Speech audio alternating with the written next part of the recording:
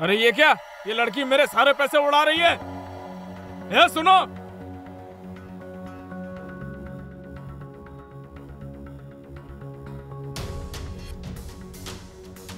अब कहा भाग कर जाओगी तुम हाँ? तुम्हारी इतनी हिम्मत कि तुम मेरे पैसे बाहर गरीबों में उड़ा रही हो। तेरी इतनी हिम्मत हो गई कि मुझे थप्पड़ मार रही है तू। तेरी तो यहाँ क्या हो रहा है?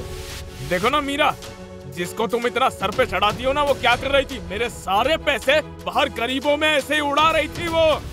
मेघला रूपक ने जो कहा क्या वो सच है? हाँ दीदी मैंने उड़ाया है। पर वो सर के नहीं है। अगर सर के नहीं है तो किसके हैं? असल में दीदी वो पैसे? हेलो माँ। हाँ मैं आपको सारे पैसे भिजवा रहा हूँ हाँ। जितने पैसे मेरे से बन पाए मैं सब भिजवा रहा हूँ। आपका ऑपरेशन हो जाए एक काम कीजिए आप मैं एक नंबर देता हूँ, उसे लिखिए, सारे पैसे मिल जाएँगे। काम हो जाएगा हाँ माँ। ऑपरेशन हो जाएगा अच्छे से, ठीक है?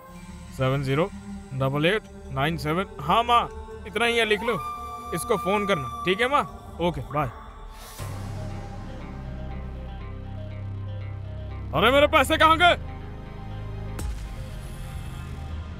कौन लेगा! दीदी वो पैसे किसी गरीब के थे, पर सर ने वो पैसे? चुराए थे। किसी गरीब के ऊपर इतना अत्याचार होते हुए मैं नहीं देख पाई। और सबक सिखाने के लिए मैंने ये सब किया। रूपक तुमसे मुझे ऐसी उम्मीद तो बिल्कुल नहीं थी रूपक। तुमने किसी गरीब के पैसे चुराए तुम्हें न ही घर की न ही दौलत की कमी है फिर भी तुम किसी गरीब के पैसे?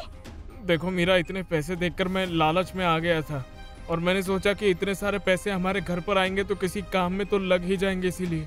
रूपक क्या तुम्हें आइडिया भी है कि एक लाख रुपए कमाने के लिए गरीब को कितनी मेहनत करनी पड़ती है? उसकी कोई ज़रूरत होगी वरना एक लाख रुपए लेके रास्ते पे कौन घूमता है? मीरा देखो मुझसे गलती हो गई। अब मैं इसका प्रायश्चित करने के लिए करूँ क्या? क्या कर सकते हो? तुम ही कर सकते हो और तुम्हें ठीक करना है। तुम अभी जाओगे और उस इंसान के एक लाख रुपए वापस दोगे। अरे एक लाख रुपए मैं कहाँ से लाऊँगा अभी? सारे पैसे तो उड़ा दिए उसने। रूपक मुझे नहीं पता कि तुम एक लाख रुपए का इंतज़ाम कैसे करोगे पर जैसे भी हो तुम आज ही उस गरीब इंसान के एक लाख रुपए वापस करोगे। और अगर तुम ऐसा नहीं करोगे तो मैं घर छोड़ के चली जाऊँगी। अरे मीरा तुम ये सब क्या बोल रही हो यार? एक मिनट दीदी। मैंने जो पैसे उड़ाए हैं वो असली नहीं हैं। असली पैसे मेरे पास अभी भी है। एक मिनट। ये रहे असली पैसे। मैं असल में सर को सबक सिखाना चाहती थी और नकली पैसे उड़ाए और असली मेरे पास रख दिए।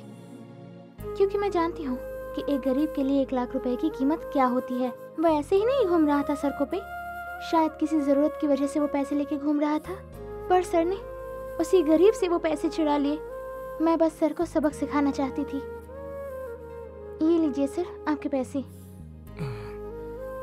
धन्यवाद मेघला, आज तुमने मुझे एक बहुत बड़ा सबक सिखाया है। और मीरा मुझसे बहुत बड़ी गलती हो गई तुम मुझे माफ़ कर दो। मैंने एक बार भी नहीं सोचा इसके बारे में। अच्छा फिर मैं अभी के अभी जाता हूँ और उस आदमी के पैसे मैं उसे वापस देकर आता हूँ ठीक है?